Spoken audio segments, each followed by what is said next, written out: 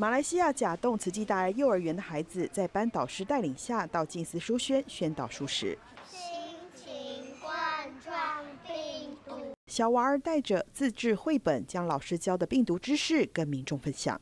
要早睡早起，要戴口罩，要全洗手，要要吃肥儿一果。小朋友他们也是想到。只是保护自己的话是不够的，那要怎样让出去更让更多的人知道？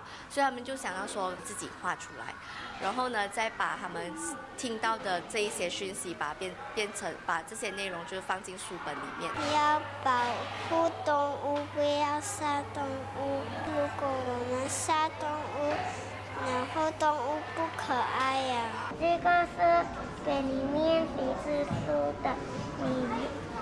你要不要？如果不要，也不用给。没有关系，没有。孩子发送斋戒如素卡，虽然被拒绝，但没有打击他们的信心，还是继续劝诉。其实很 touch 下，所以我就第二次我就接受了，所以我会尝试看 more into vegetarian rather than meat。发挥蚂蚁雄兵的力量，小儿走入人群，为防疫尽一份力。大新闻刘婉俊、罗国聪，马来西亚报道。